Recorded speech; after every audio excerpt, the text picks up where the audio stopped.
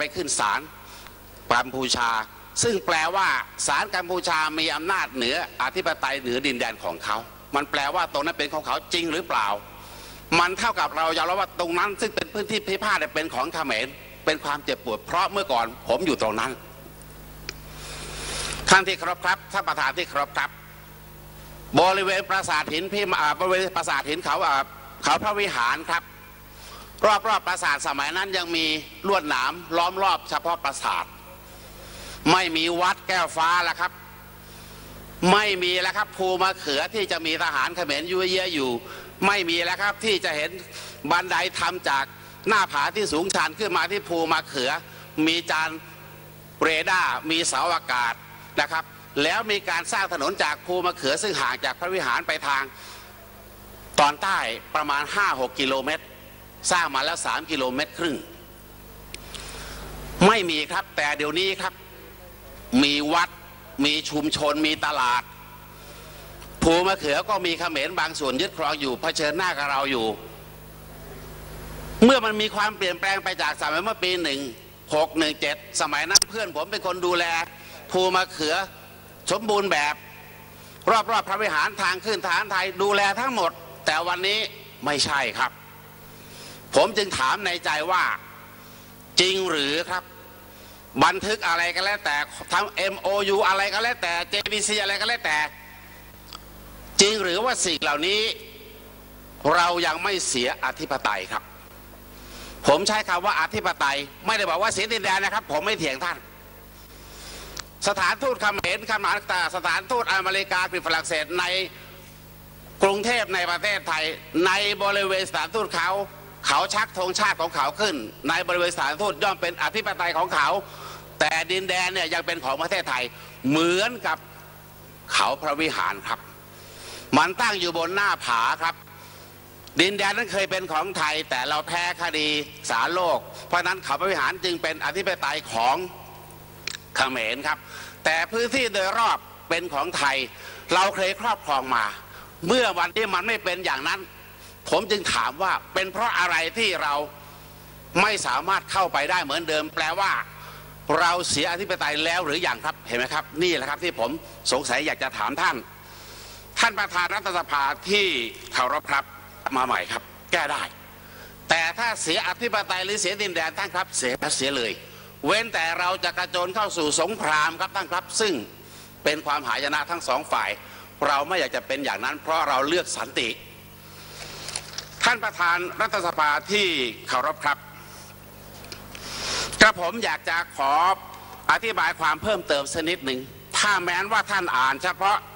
บันทึกการประชุมอ่านข้อตกลงเนี่ยคนทั่วไปก็อ่านไม่เข้าใจครับ ผมยืนยันครับว่านักการเมืองจำนวนไม่น้อยที่อ่านแล้วก็ไม่เข้าใจ เขาพูดถึงเรื่องอะไร ผมกราบเรียนอย่างนี้ครับ ประเทศเขมรกับประเทศไทยเนี่ยอยู่ติดกัน ดินแดนไทยกับเขมรเนี่ย มันมีความยาวขาดอีก 2 กิโลเมตร ก็จะครบ 800 กิโลเมตรครับ นั่นก็คือไทยเขมรเนี่ยดินแดนติดต่อกันตั้งแต่บ้านน้ำยืนอุบลลงมาเรื่อยจนกระทั่งถึงจังหวัดตราดเนี่ยมีความยาว 798 กิโลเมตร พื้นที่เกือบ 800 กิโลเมตรเนี่ยแบ่งเป็น 2 ตอนครับ ตอนแรกมีความยาว 195 กิโลเมตร อยู่ตั้งแต่บ้านน้ำยืนครับนะฮะช่อง ช่องบก บ้านน้ำยืนจังหวัดอุบลราชธานี มาถึงช่องสงึมจังหวัดศรีสะเกดช่วงนี้ครับมีความยาว 195กิโลเมตร ช่วงนี้ไทยจะอยู่บนที่สูงเขมรจะอยู่บนที่ต่ำภาษาพื้นบ้านจะเรียกว่าสายซีกไทยเนี่ยเป็นเขมรสูง แต่เขมรล่างน่ะเป็นเขมรต่ำนั่นคือดินแดนกัมพูชา แต่ผมจะเรียกว่าไทยสูงเขมรต่ำมันมองดูแล้วเหมือนเหมือนกับ กำแพงเมืองจีนครับที่เป็นแนวธรรมชาติขวางกั้นอยู่ มีความยาว 195 กิโลเมตร เหมือนกำแพงเมืองจีน มีความสูง 200 เมตร 300 เมตร 400 เมตร บางช่วง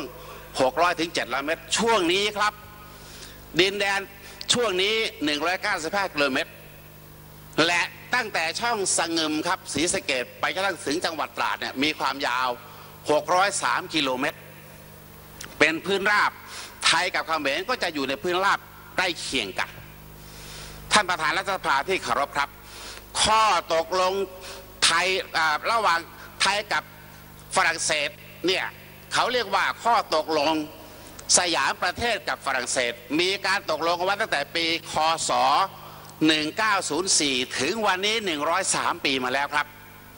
ว่าเขตแดนระหว่างไทยกับ กัมพูชาเนี่ยซึ่งฝ่ายกัมพูชากัมพูชาไม่ได้ทำเอง แต่ตัวแทนกัมพูชาที่มาทำคือฝรั่งเศสครับเพราะฝรั่งเศสเป็นเจ้าอาณานิคม ปกครองกัมพูชา กัมพูชาเนี่ยไม่ได้ทำเองฝรั่งเศสทำแทน จึงเป็นข้อตกลงระหว่างสยามกับฝรั่งเศส 195 กิโลเมตร ซึ่งอยู่บนที่สูง บน tableland บน plateau บนกระแพงเมืองจีนที่ผมสมมติให้เข้าใจง่าย ๆ ไทยสูงเขมรต่ำเนี่ย มันเป็นข้อบันทึกที่ตกลงกันไว้ระหว่างสยามกับฝรั่งเศสว่า จะใช้แนวผาที่สูงชัน แนวหน้าผาที่สูงชัน แทนแนวสันป่าน้ำครับ แนวสันป่าน้ำเห็นไหมครับ ไม่ได้ปักหลักอะไรทั้งสิ้น ตั้งแต่ช่องสงาช่องสะเงืมไปจนถึงจังหวัดตราดเนี่ยเป็นพื้นราบ มันไม่มีอะไรที่เป็นเด่นชัดทางธรรมชาติ ในช่วงจากช่องสะเงืม ศรีสะเกดถึงจังหวัดตราดจึงต้องมีการเอาหลักหินไปปัก รวมแล้วมี 73 หลัก หลักหนึ่งเริ่มที่ช่องสะเงืมศรีสะเกดหลัก73 อยู่ที่ปลายแหลมจังหวัดตราดครับ การปักหลักเขต 73 หลัก และการตกลงว่าใช้แนวหน้าผาที่สูงชันเหมือนขอบของกำแพงเมืองจีนเนี่ยตกลงกันมาแล้ว 103 ปี 103 ปีที่ผ่านมาเนี่ย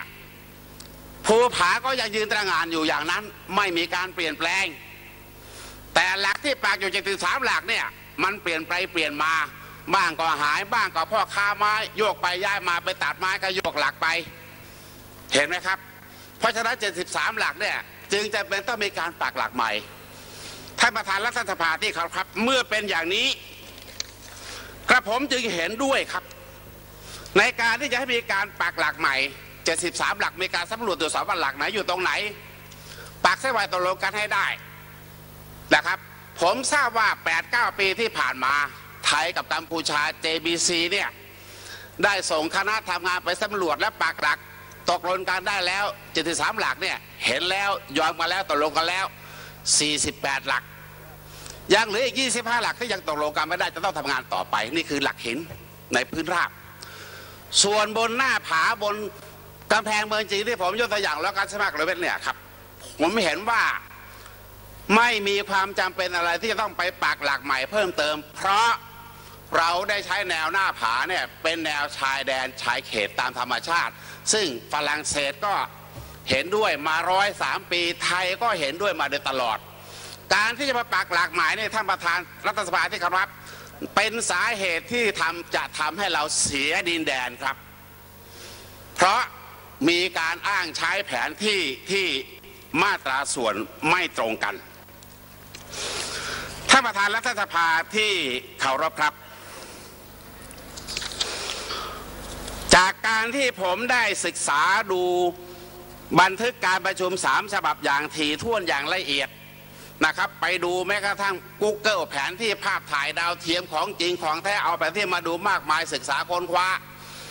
ผมกราบเรียนว่าผมมีข้อสังเกตว่า บันทึกการประชุมสามฉบับนะครับเนี่ยมีข้อที่ควรจะต้องแก้ไขอยู่ 3-4 ประเด็น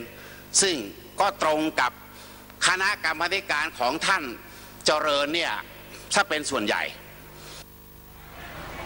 นี่ค่ะพ่อแม่พี่น้องอถ้าถูกใจขอเสียงปรบมือให้พันเอกวินัยสมพงษ์หน่อยนะคะ